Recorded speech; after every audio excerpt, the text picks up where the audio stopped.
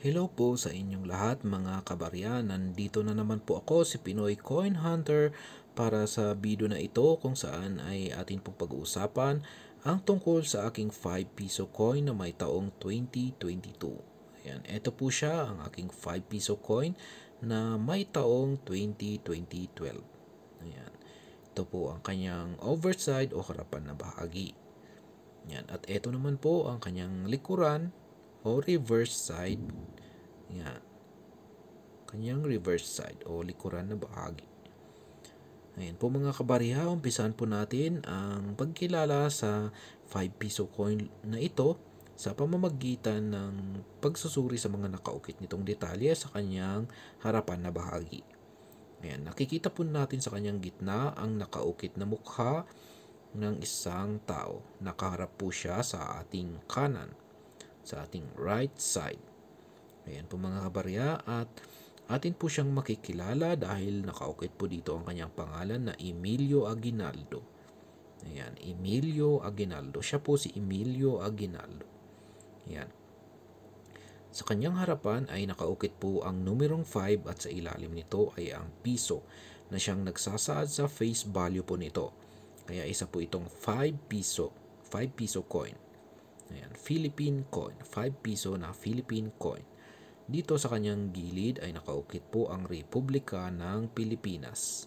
Ayan, Republika ng Pilipinas at dito naman po sa ilalim nito ay ang kanyang taon na 2012. Ayan, meron po siyang disenyo dito sa gilid na ayan po na nagkurba-kurbada po siya. Ayan, na nagpaikot. Ayan, kanyang disenyo. Ang dami po niyang disenyo. At saka meron po siyang mint mark dito. Ayan, yan po ang kanyang mint mark. Ayan, ang 5 piso coin. Wala naman po akong nakikitang error coin, error nito para masabi nating ito ay isang error coin. Ayan. Kanyang gilid ay ganito po siya. Hindi po siya reeded kundi plain lamang po siya. Kaya madulas po ito. Madulas po ito lalong-lalo na kung ito po ay basa o o madulas yung ating kamay kaya ayan yung mga ganitong barya na hindi po reeded ay ay marami, sadyang marami po talagang mga UP, nagkakaroon ng UP dahil talagang nahuhulog po yung mga ito at tumatama sa mga matigas na bagay. Kaya, ayan, yung mga ganitong barya ay, yan po, marami pong mga nagkakaroon ng maraming gasgas at UP. Dito naman po sa kanyang reverse side o likuran na bahagi ay ganito naman po ang mga nakaukit nitong detalye. Sa gitna ay ay ganito po siya yung selyo ng bagong bagong selyo ng ating ng BSP. Ayan, isa. Hindi po pala ito, meron po palang mas bago. Meron po palang mas bago. Ayan, ito po yung selyo bago yung mas bago na selyo ng BSP. Yan, meron po siyang cogwheel. Meron siyang cogwheel at sa loob nito ay may araw at bundok Ayan, at sa ilalim nito ay yung yung ating yung simbolo na ating nakikita sa ating watawat. Yan, may may araw at tatlong between. Ayan. Yan po mga kabarya. Yan. At dito sa kanyang gilid ay nakasukit ang mga detalyeng Bangko Sentral ng Pilipinas. Ayan, Bangko Sentral ng Pilipinas at ang taon na 1993. Ang 1993 ay hindi po ito yung kanyang taon. Yung kanyang taon ay nandito po sa kanyang overside o harapan ng bahagi. Ito po yung 2012. Hindi po yung 1993 na ito.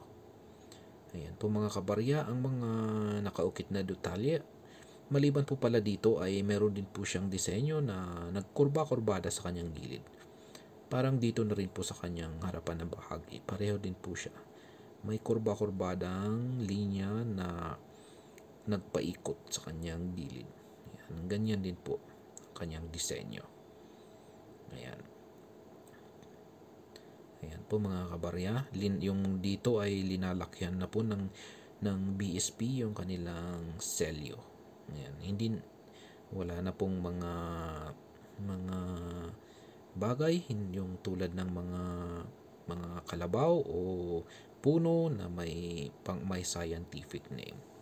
Ayan, isang malaking BSP na selyo ng BSP ang nandito. Yan, yan ang ating 5 piso coin na may taong 2020-12. Ayan.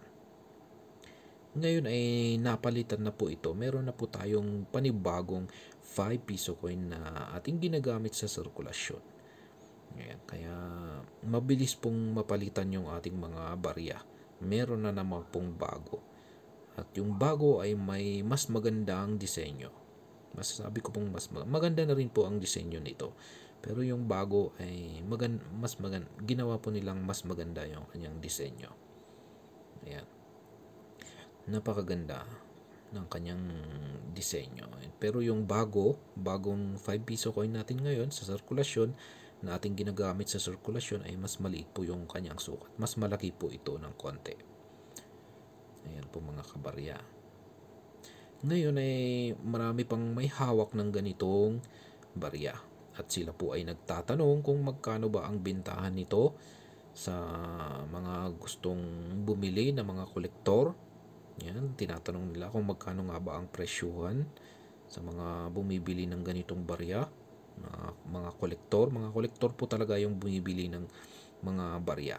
Yan, naghahanap po sila ng mga mga magandang yung kulang sa kanila yung tulad ko po na isa na rin po akong kolektor ay bumibili po ako yung kulang po sa akin na wala sa aking mga koleksyon ayan at at syempre ay pinipili ko po yung pinakamaganda ang kanilang kondisyon ayan maganda ang kanilang kondisyon at yung syempre yung yung pinakamura na rin po yung pipiliin ko ayan paano Siyempre, pipiliin ko po yung maganda yung kanyang kondisyon at mura pa yung kanyang presyo. Yan. Ganun, ganun po talaga tayo mamili ng mga mga barya na ating kinokolekta. Yan. Kaya maraming nagtatanong kung magkano ang presyuhan sa ganitong 5 piso coin na may taong 202012. Ito po ay pabago-bago ng presyo kaya kaya ang aking ginawa ay lagi po ko lagi po akong nagtatanong sa mga community groups. Ayan, lagi po akong nagtatanong. Madalas akong nagtatanong sa iba't ibang mga community groups kung ano na nga ba ang naging pagbabago sa presyo ng isang lumang barya. At pagdating po dito sa ating 5 piso coin na may taong 2020-12, ang Tinanong ko po ito sa mga community groups at ang sabi po nila ay nasa 25 pesos po yung minimum price nito. 25, 25 pesos po ang minimum price nito. Hindi kapag minimum price ay hindi po ibig sabihin na ito na po yung kanyang fixed price.